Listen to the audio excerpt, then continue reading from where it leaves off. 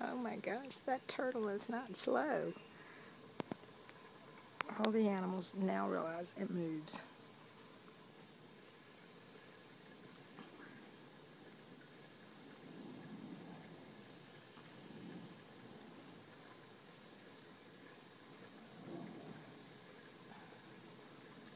Does it want to play with you, Shaggy? Firefly? That turtle is... I'm trying to decide. I found this turtle in the road and I rescued it and I'm trying to determine if he will be happy to live here. Oh no. Oh no. I know he can take care of himself.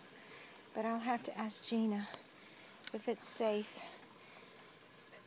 or good to keep a box turtle in the backyard. All the animals are curious. What do you think, Shaggy? Do you want a turtle for a sibling? To go with the fish and the frogs and the cats and the dogs? I just rescued the turtle from the road and I brought it back here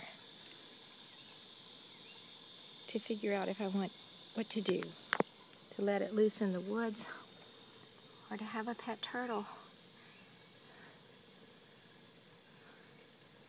I don't want to make the turtle unhappy though. Firefly seems to be the most interested. What are you barking about? Are you wanting somebody to come play or are you wanting to go in because it's so hot? Chance doesn't know what to think.